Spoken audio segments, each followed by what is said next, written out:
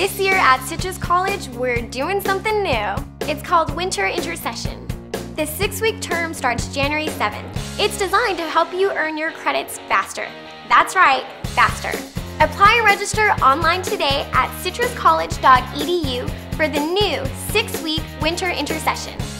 And remember, spring semester 2008 is shorter, only 16 weeks. Spring semester starts February 20th, and late start classes are available. Apply today.